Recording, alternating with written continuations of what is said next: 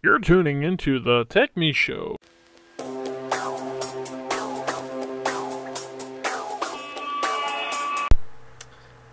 Hello, everybody. Welcome to the Tech Me Show. As you see, today I am connected to a Windows uh, 8 uh, machine here, right?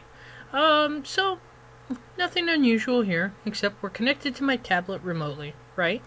Um, what I want to show you is something very quick. We're going to make this as quick as possible, so I will be quiet. Um, we're going to take something we pinned from uh, Best Buy and get rid of it. A lot of people are having issues not being able to figure this out, but we're going to take our finger, or in this case, a mouse, and uh, we want to actually right click the item.